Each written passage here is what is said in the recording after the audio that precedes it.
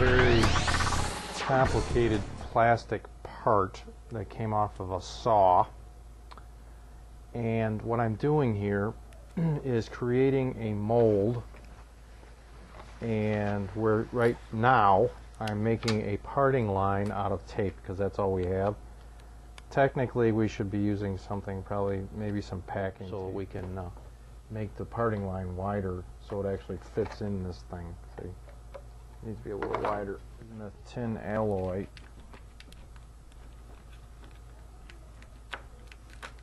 And it's for a saw, actually. And it was made out of plastic, and it broke right here. And I repaired it once, but it just keeps breaking, so I'm just, uh, we're going to make it over again, but this time with a metal, which will be stronger. Okay, what we're doing here is making some standoffs for the part so that it stays off of the bottom when we pour in the um, plaster Paris. And the easiest way to do it is to just drill some holes in the bottom and then tape the hole shut. Make a little U-hook deal. This.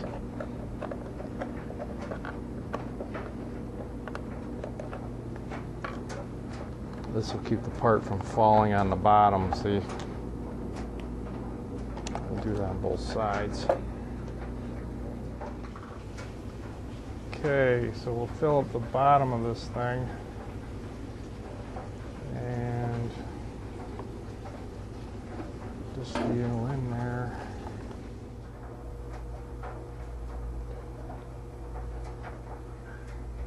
Okay, we're just gonna let it sit. I don't know how long you gotta let it sit. Unfortunately for these next bits, after this you'll see that we uh, lost microphone, so I have to do some improvising here and explain what happened. Okay, what we're doing here is taking the mold apart and you can see at the top half of the mold just fell apart where the cellophane tape acted as a parting line. Exactly what we wanted to have happen. And uh, what you'll see next is that we will have to try to extract the part out of the top of the tool. And because the part doesn't have any draft or angles to it, it's very difficult to get out of the tool and you see it's actually breaking the tool apart that did present a little bit of a problem. It's not ideal, but we can still work around that. So what we do, at, eh, what we're going to do next after this, after we get the part completely out of there, is glue it together. Together, we literally use Elmer's glue to glue the uh, the part back together. So you see here, we're trying to extract the part. We're scraping and so on, and uh, finally we'll get the part out.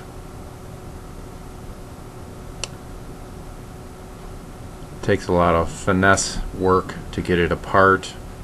And see this part that part broke off. It's not ideal but that's how we uh, managed to get it apart. Next part no you see we'll get the part completely extracted from the mold.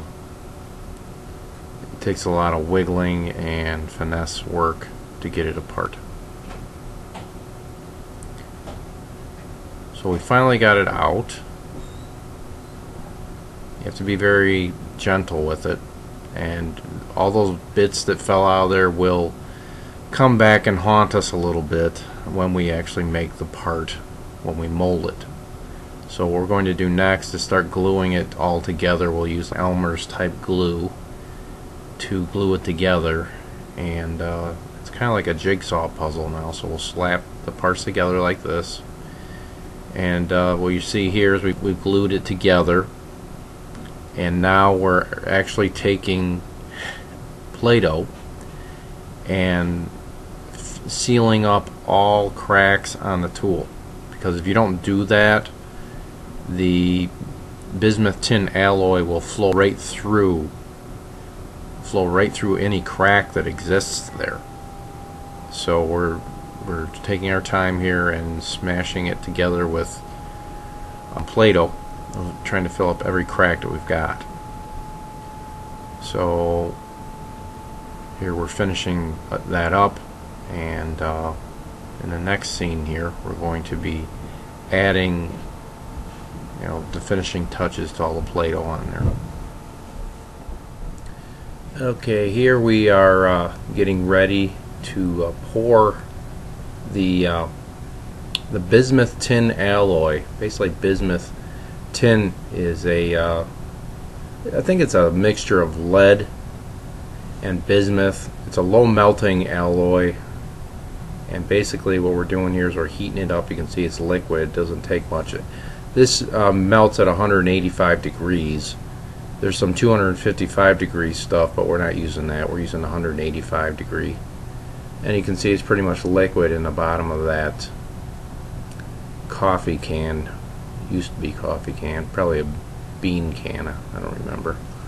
And so now we're going to pour it into the mold that we made. And um, it pours pretty quickly. Stuff's like water You see it comes up and it filled up the whole tool and we'll let it sit for about 10 minutes to cool down and uh, once we come back to it then we'll start cracking the mold apart breaking off the pieces to get at it get at it and you'll see that there's going to be a lot of flashing because some of the material melted in through the uh, parting line. You'll see that in just a moment when we split it apart. We pop the bottom half of the tool off.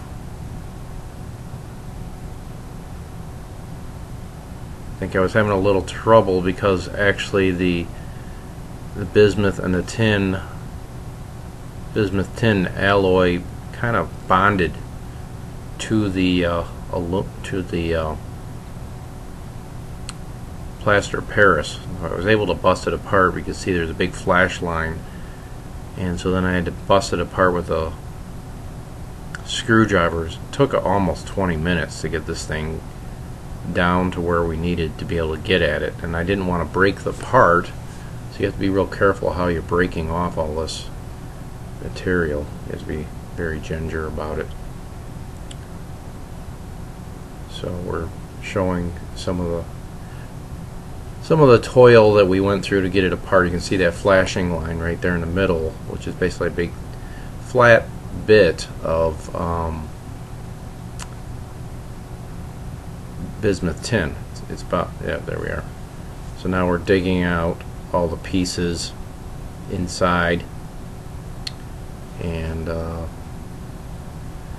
next you'll see that we have to get rid of all the flashing. You have to crack it off and make it actually look like a part. So we're trying to get rid of all this plaster of Paris out of it. That's the first chore. Once we get that all out, then we'll start refining it and uh, whittling off bits. As you see there, I've done quite a lot of work. I probably put about 20 minutes worth of work, and what we're doing here is fitting it into a saw.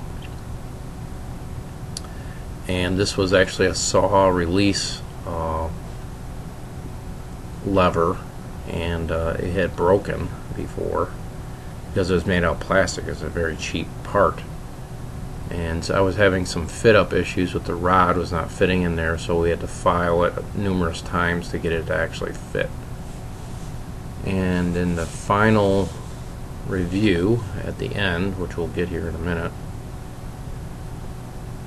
you'll see that um, the part fits a lot fits exactly the way it should. So I had to do a lot of filing. This is what I'm doing here, filing off. So here it is in assembled, showing it fully functioning.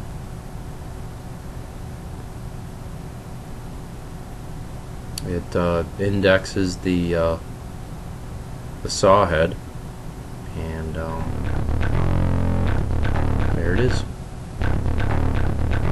So from the top view, it looks decent. Looks like it's supposed to be a part, and it's a lot more durable than the plastic part. And should probably never actually fall apart again.